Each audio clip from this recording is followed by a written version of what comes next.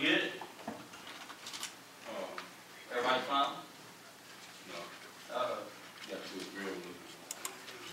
You gotta redeem yourself after that, right? Yes, Lord. David, I love you, man. Number two. Hey, man. That's That's worth what it all, but. it was.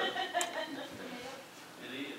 You know, it's amazing what a little one can do with the biggest one. You're exactly right, Bob. Did you hear that? Yeah. Hey, Tracy. You know, chiropractor, well, thank you. Look at it. Hang on. I don't know.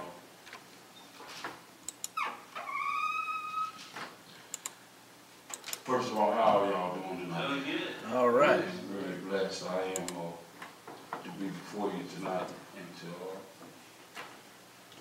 be able to stand here safe, That's right, brother. free. Amen, brother. And this is the weirdest thing, right? And it's hard because I've been trying to explain it to people in the camp. And I've been trying to explain it to people for years. But, uh, I haven't been in prison in about ten years. And uh, when you try to tell people in prison that you're not in prison, they look at you like you crazy. And uh, today in prison, for some people was uh, up and down day, pretty hard day. Because uh, they come in from work and different things and they was urinalizing people and shaking people down and doing all kinds of things, social things that I don't understand to be or somebody them down or, or something of that nature. And the man asked me, he said, man, you don't kill? No, I don't. Because I'm not in prison. That's right. I'm free. That's right, brother. So if they, uh, want some analysis, they wanna shake me down, they wanna do anything they wanna do. So be it, brother. because I'm free That's right. from the pressure Yeah. of this confinement. Mhm. So it's, uh, brought some things to my mind. I told Scott in the car, he asked me, he said, bro, where you gonna come from the word? I said, I have no idea. I said, uh, I read over a few things and God has showed me a few things. And I said, Scott, it's weird because I think this is the first time that he hasn't just said wrong. Use this batch the scriptures or go to this book and come from here. And I said, so I really don't know. I've been in a couple of different books and we talked about uh, a couple of books that he was reading in, that I was reading in. And I said, well, Lord, uh, you need to do something because I don't know what to do. And Scott said, well, bro, now I'm ready to go. If you ain't ready, I'm ready. And when he said that, I said to myself, okay. So I've been sitting back there with George and them, and they talking about singing that song, and I'm saying, okay, Lord, you need to tell me something. Because if you don't, I'm going here and tell Scott, I ain't ready. I'm scared to death, because I don't know what I'm gonna do. Like, it's about like singing that song a minute ago. Just, hey, hey, you need to guide me right here. And, uh, when I got up here and started singing that song, that was uncomfortable for me. Amen. That was really uncomfortable for me. And, uh, it was uncomfortable for Joe. But it wasn't uncomfortable for David. That's right, brother. Free, Free. free. That's right. See, we so bound up in who we are Right. and what we are. Man, I'm grown, man. I ain't gonna get up there and look all crazy and, and David said, come on, man. I'm saying, man, I'm a pretty tough dude, man. Yeah. But right now, David, you're a lot more tough than I am. Amen. I've been there, brother. I've been there. And I know all y'all, and y'all know I can't sing, so it really ain't that bad, but David, I don't wanna go up here. I'm about to cry. David, I don't wanna go. I'm in there, brother. I've been right where you at. And he looked at me and George Bolton, he was like, yeah, it's going down. and just that freedom Yeah, in David, man. yeah. Just that freedom right there, man. Just was so beautiful to me. Yeah, Because, you know, now I understand why God didn't give me nothing. Because he knew it was already here. you knew it. He knew it was already here. And you know, as grown men and women, we put so much pressure on ourselves to dot every I and to cross every T that we miss the liberty that we have in Christ. Mm. We miss the free gift Thank, thank you, of grace and mercy Mm. that God has given to us. That's good. And uh, I don't know where I'm going with this. easily. Easily, Because like I told you in the car, I had nothing. I, I've been reading, and I've been studying. I, I even, Monday night, I got on my knees and I said, Lord, give me something to give your people. And I read stuff and it didn't sit in my heart. So we got up there to sing that song. And the freedom that David had. And you know, I think that's what sets me and the soul out to God apart from people that's just sitting on the pew. Wow. Because David was a great king. David was a great warrior. But he was free to be vulnerable. That's right. He was free to call out to God when he needed help. He was free to say to his friend, I'm that man, That's right. Abraham,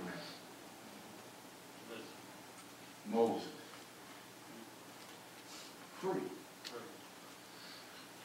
Damascus Road saw a very intelligent Pharisee got set free, That's right, brother. got set free to become Paul and to write about our Savior and how to be free. Amen. How to be free.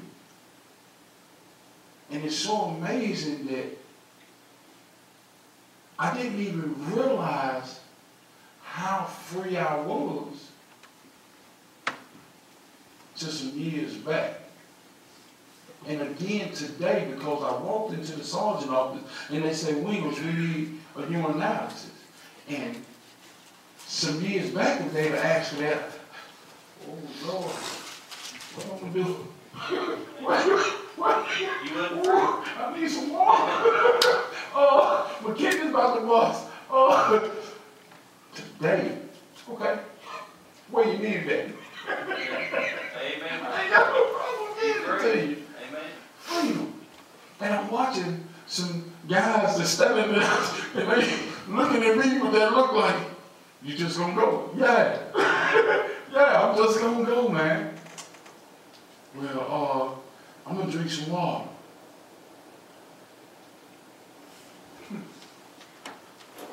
Free.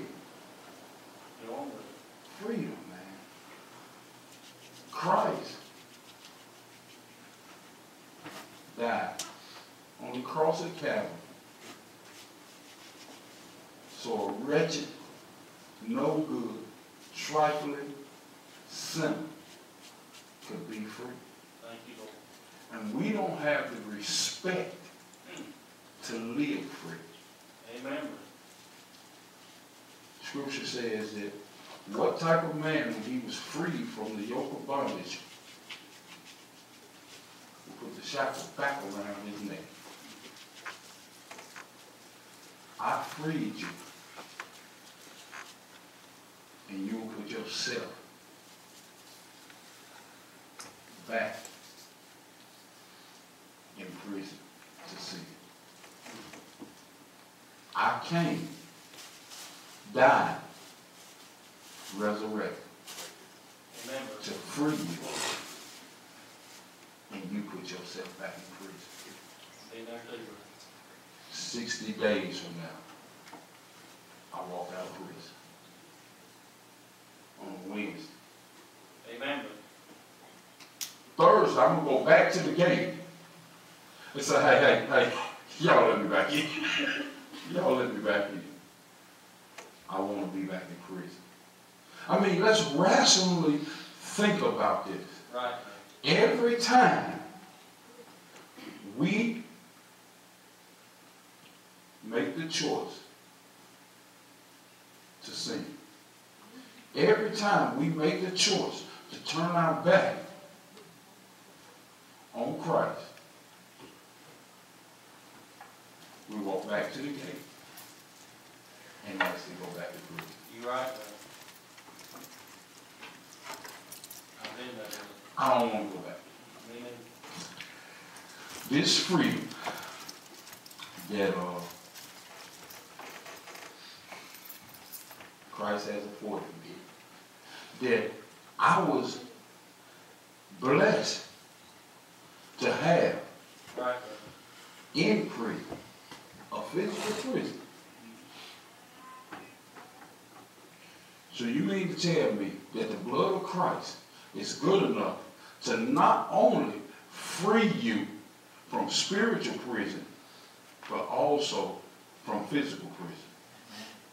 Go ahead, brother. I have uh, some men that I think a lot of that I've met through the course of my incarceration. And one in particular, an older gentleman named James Woods. And I never understood why, you know Mr. James, why he could just walk through prison and nothing bothered him. And as a young Christian, I'm getting caught up every day. I'm getting caught up in something else. And he told me, he said, Ron, the things that you put in your heart are the things that you chase out. So therefore, if you're putting the wrong things in, they're gonna keep you in prison. If you put God in, That's right, brother. He'll free you. Amen. And as I walk this walk, and God has been bringing me along, I've got freer and freer and freer and freer Amen, to where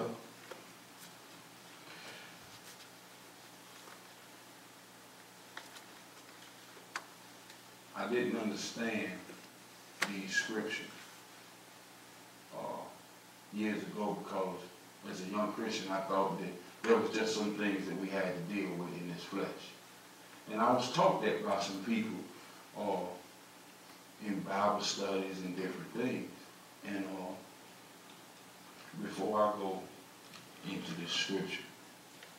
Father God, I know I've said a lot before I came to you in prayer, Father, but I've only said what you poured on my heart.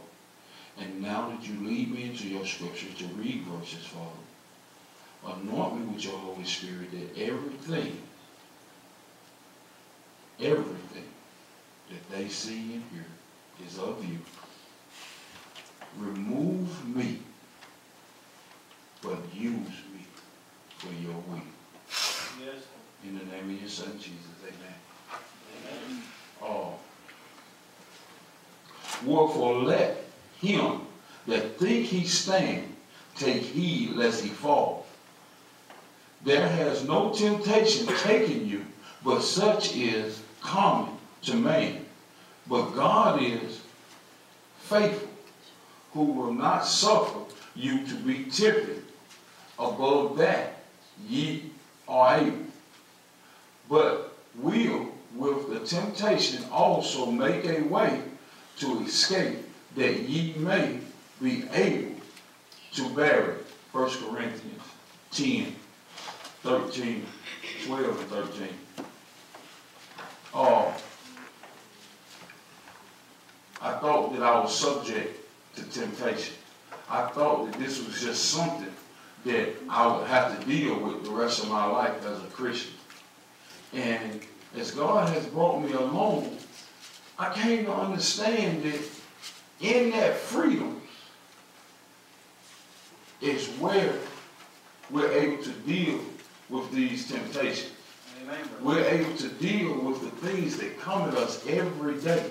We're, deal, we're able to deal with the ups and downs of life because God has promised that in everything that comes your way, that I'm with you, I'll sustain you, and I'll see you through it. And it's so amazing because I don't think sometimes that we really get it that submitting ourselves to God, surrendering to God is the most powerful thing that we can do. Because in that, you become free enough to be able to deal with life. See, it's hard for me. I'm to speak for me because I know I may not deal with these things. But when I'm happy, when I'm at peace, I can deal with situations. If the roof caving in and I'm at peace and I'm happy, okay, listen, we need to get a ladder, get the roof